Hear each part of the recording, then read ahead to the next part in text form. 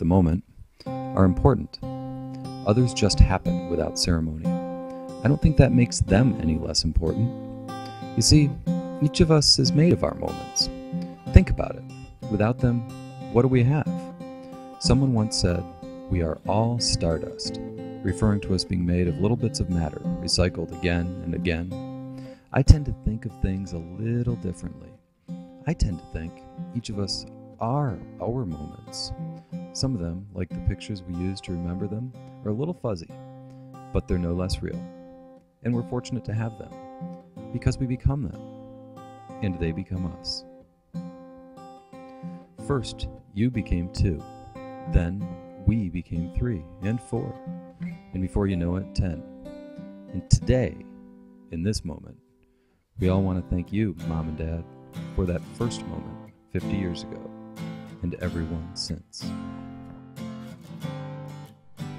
The story goes that mom and dad wanted to adopt another child to add to their family of three, and that when they finally heard that there was going to be a baby girl available, they found out that mom was pregnant with me.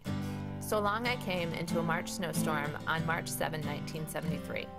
The parts of my childhood about mom and dad that I believe have had the greatest impact on me are their commitment to family and friends.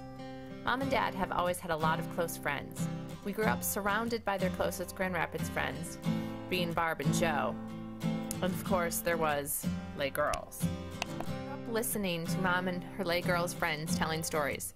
Their biggest storytelling event of the year was at Christmas time when they would get together for a Christmas card reading party. They would each prepare and perform some type of fine arts presentation for their annual Christmas card. Only this wasn't the Christmas card that they sent out to their broader group of friends and acquaintances, where they gloated about perfect families and rewarding jobs. Instead, their performances shared the hard knocks truth about their previous years telling of cheating husbands and adolescents run amok. One of Lay Girls, Ann Mulder, used to bring her children to our house and say, This is what the all American family looks like two parents and two children, and they eat together every night. I am sure Lay Girls are raising their glasses this year to the one of them that has made it through 50 years. For much of my childhood, I also remember Mom sitting on the counter bar stool with Marnie and Ann drinking Manhattans and playing Boggle. They used to get into heated arguments about who was cheating. I never understood how you could cheat at Boggle, but I guess sometimes they must have tried to make up words because I remember the dictionary coming out for verification on many occasions. I would listen to their stories and tell myself, you have to remember what they're saying, because one day when you're older, you'll be able to understand what they're talking about.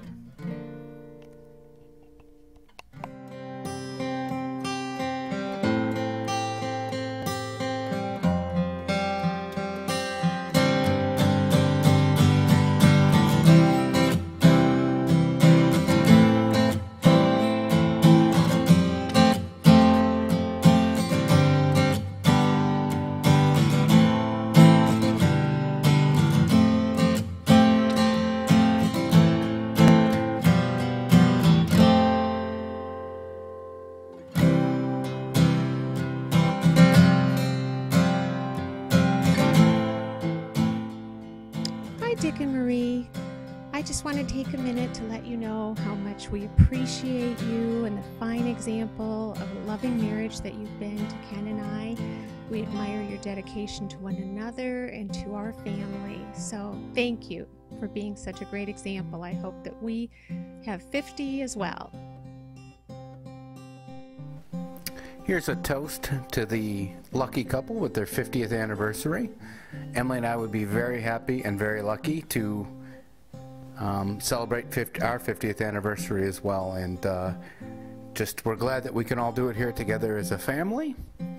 And uh, just raise your toast and a drink to Dick and Marie.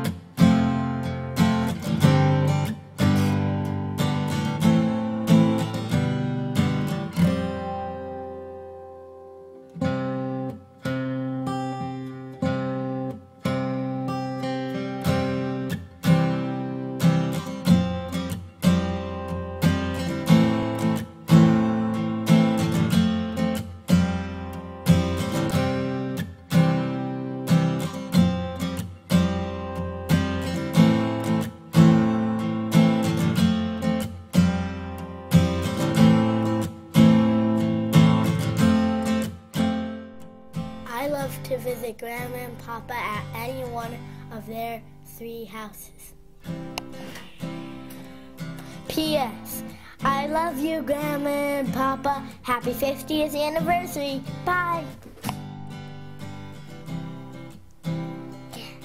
Happy 50th anniversary. Grandma and Papa, I'm going to also sing the funny song to you. I love you.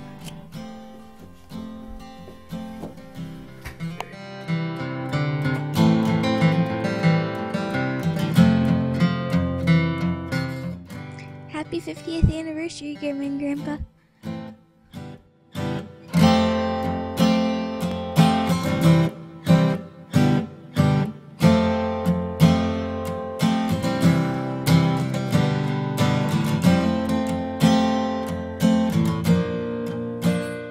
Happy 50th anniversary, Grandpa and Grandma. I hope you have a good one.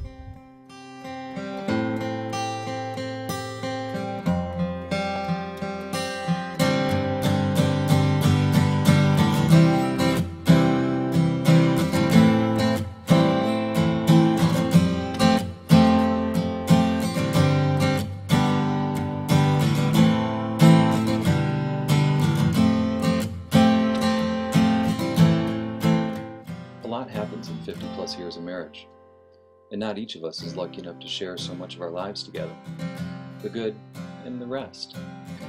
Every part of it, though, just as important as the rest. For those of us included in your moments, well, we're pretty lucky too. Happy anniversary.